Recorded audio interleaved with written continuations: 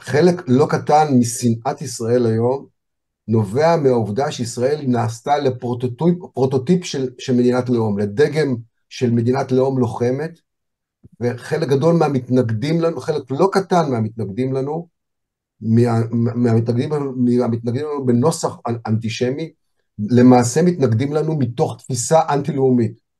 חלק לא קטן, זה לא רק הפרוגרסיבים שאנחנו דיברנו עליהם עכשיו, חלק רבים בעולם העסקי אה, ששוחרים אה, ביטול של אה, מדינות לאום לטובת מבנים אחרים שקשורים לחברות רב-לאומיות, רואים בישראל מכשול סימבולי ולא רק סימבולי, וזה לא, זה מסביר לא מעט, לא מעט, משנאת כן. ישראל בת זמננו.